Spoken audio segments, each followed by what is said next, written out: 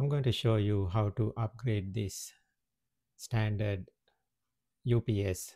This is APC model CS500.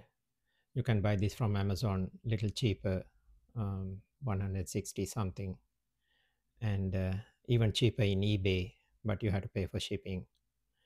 Um, the battery is very small, 7 amp hour capacity of this one. Original battery is $80 you can buy an alternative replacement of the same size. It is about $20 from Amazon. But you can use this big Group 31 100 amp hour red Redodo battery, lithium iron phosphate, to um, increase the capacity. This battery you can purchase from Amazon for less than $200 ship. So I'm going to show you my setup this is the UPS placed on top of the battery. You can see two wires coming out of the side wall of the UPS. Red is connected to the original battery terminal inside the UPS and then it is connected to the positive of the battery and the black is extended wire connected in the inside to the original negative terminal and now it is connected to the negative terminal of the battery. This thing, the UPS, is uh, connected to the power strip and power strip um, has all these uh, modem, home server, security system, and the router hooked up to it. The red and white wires coming down, those are Ethernet cables. So this is the setup. Uh, I have removed the handle of the battery to place the UPS on top of it. So here is a close-up of these uh, wires coming out of the UPS and they are connected to the respective terminals of the battery.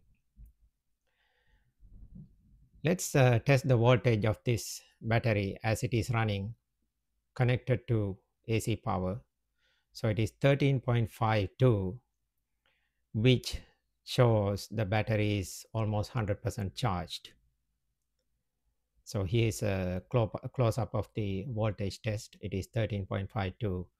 Uh, the battery is almost fully charged. So now I have unplugged the UPS from the wall. You can see it is online. And uh, that means it switched to battery power.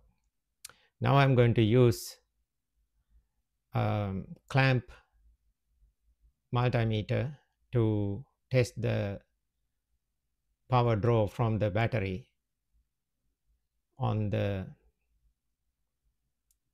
uh, positive wire. So at this point, when there is no AC power on the battery backup, the UPS is drawing about 3.3 amps. So now I'm going to plug it back onto the AC power.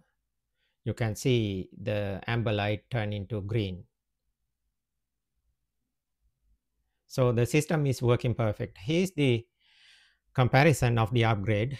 With the original battery, you get approximately one hour of runtime because the capacity is about 60% of that battery.